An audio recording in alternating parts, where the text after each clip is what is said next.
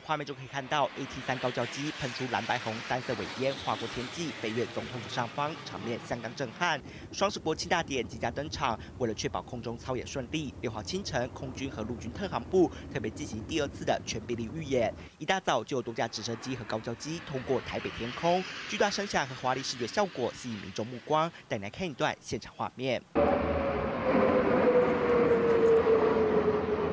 可以看到，不只有 A T 三高教机喷出尾烟通过，现场还出动 C H 四管运输直升机悬挂巨幅国旗，甚至也有永鹰高教机在空中翱翔。而事实上，这次的全兵力预演本来预计在四号登场，只不过碰上小犬台风来袭，延到今天才成功起飞操演。即便一早的天气还是阴阴的，不过还好没有雨势，让整场预演顺利完成。希望能在国庆大典上展现最好表现。